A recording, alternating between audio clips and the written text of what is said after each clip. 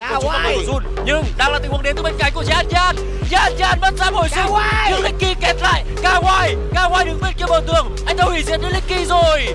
Và Nunu thì vẫn đang được chơi trong tình huống này. Ram đang chấp nhận chơi với một chút lượng tiền thua. Kawhi sắt vững thẳng vào ngực của Little Boy rồi. Ba người tấn công lên. Little Boy đỡ không nổi. Và một không. Dành cho bạn mình mình không thể tin nổi. Cú chọc đá tốc biến đến từ vị trí dùn đẩy Nunu vào thế khó. Nunu lại mất Nunu! lại là người bắt sai lầm. Và Yan Yan có được chiến công đầu với cú long trả vừa qua. Yan Yan lao vào cào nội tại. Khi mà bạn mình mình cũng muốn đánh ép sân chặt chẽ. Yan Yan đu dây đôi rất đẹp. Anh ta muốn hack não Kanashi và wow. long diệt là đủ sát thương kìa. Nên bây giờ là băng trụ đến từ Buridam rồi. Họ có bốn người tại đây. Yan Yan cũng đang đu đến. Có trụ dành cho Buridam long diệt nhiều sát thương nhưng chưa dứt điểm vào cải. Ui, không cài đấm ta xuống một hai hai nằm xuống. Cai sẽ bắn cùng được cái wow. đổ hai băng xương ạ. À. Ôi AKP Hoặc chỉ là một hai đường thôi thì họ vẫn chơi được thoải mái. Nhưng Little Boy thì đã bị bắt lại. Little Boy bị 50 rồi đã. Little Boy nằm xuống quá nhanh. Nhưng Jun nằm lại với Licky rồi. Licky cũng nằm xuống. Nunu mất đi tả duy đột. Nunu là mạng nằm lại thứ hai. Biến lên để móc về vị trí của Licky. Có lẽ trận đấu này chấm dứt tại đây rồi. Một mình Little Boy. Cậu còn nhỏ lắm. Cậu Little Boy ơi Không làm gì được đâu. Sẽ là chủ siêu cấp và sẽ là hai không cho bạn Gaming trận đấu Enzo có lẽ là hay nhất ở trong mùa giải APL hay năm nay. hay nhất lịch sử mất. Còn rất ít bóng đến từ AKP AKP về được nhưng Kadashi thì không. Kadashi lên bảng đếm số run cây đổ hủy diệt đi thêm cả Licky chăng? Licky chạy được Licky wow. không chạy được nữa. Double kill. Giới thiệu đến các khán giả đó là Dolia công chúa nhân ngư. Một vị tướng hỗ trợ rất hot sẽ ra mắt từ ngày 10 tháng 7 này. Và Nunu ơi Nunu. Họ đang thua ở trên mọi mặt trận. Oh. và tiếp theo băng sự bật lên như Little Boy chạy oh.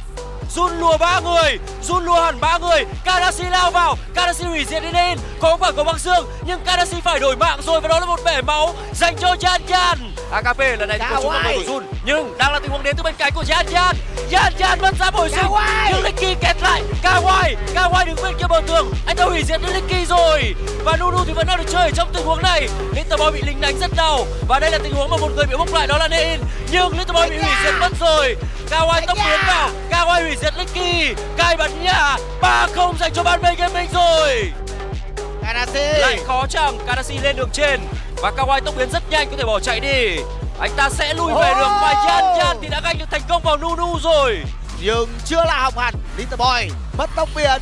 Little Boy phải sử dụng cho mình tứ nguyệt chạm để né sát thương và né đi mình hiệu ứng nhưng Little Boy bất lực một lần nữa ở cánh xưa chục nhịp nữa Phải thì Endgame nhưng đây là anh em phong đến từ bên phía của đội tuyển DMC họ lấy đi được thủy thần của Agape tiếp tục lao lên tốc biến của mình đó là Jun. Khép cong được một chiều cuối đẹp đến từ video Yan Yan nhưng chiều cuối cũng là đẹp đến từ video Nunu mất đi phân cho thần kỳ. Kanashi lao vào giữa đào tranh cú kéo oh! của đó Yan Yan Yan Yan quá hay và thắng giao tranh giữa BMC Kawhi đang lùa bốn người của Buridam Licky tốc biến bỏ chạy Kanashi cũng chạy nhưng đây là tiếng lao vào của Yan Yan. Wow. Yan Yan hủy diệt Kanashi mất rồi. Chúng ta cùng chờ đợi khoảnh khắc những con thiên vương chỉ tiến vào. Và hãy nghe tiếng khán đài đi. Trong cái đường giữa này bên phía ban Minh vẫn đang phòng ngự được thành công. Nunu vừa rồi cũng đã phải bỏ chạy. Và cái trụ đường dưới này Kanashi vẫn đang đỡ được. Luyện ngục được tạo ra nha AKP họ phải hơn Ceza này có Ceza này là quan trọng đây. Nhưng Yan Yan đang đến Yan Yan ngăn cản AKP bắn vào AKP là khá đau không Ceza nó thuộc về Yan Yan mất rồi. Khi thế ép là không còn họ sẽ phải chậm lại vài nhịp sau trận đấu vừa qua. Trong khi đó thì Nunu đang bị uy hiếp vào ở đường giữa. Và Nunu nằm lại quá nhanh cho Licky đang bắn vào đó là Jun Jun thì chạy được nhưng đây là phá kén đẹp. Phá kén đẹp đến từ Yan Yan. Yan Yan bắn Yan Yan bắn gục được vào vị trí AKP ở trong tình huống vừa rồi. Nào nào. bây giờ nhảy vào và đây một cú khép góc đẹp mắt đến từ vị trí của Jun rồi. Sau đó luyện ngục AKP cố gắng phòng ngự nhưng vẫn đang càn lên là Kawhi. Cái trụ bị hủy diệt đi. Đang lao lên đó là AKP cũng như Karashi nữa. Nhưng đây là tình huống mà Yan Yan đang quẩy. Yan Yan đang quẩy đó cũng sẽ là một sự thay đổi. mạnh hơn nữa. Ở bên cạnh những sự thay đổi nào, khác nào, nữa tại phiên bản mới đây còn đây là Elandor cũ. Nào, và lần này thì đã bị lao vào tấn công bởi các thành viên bên nào, phía của Buridam Yan Yan Yan Yan ra bồi sinh.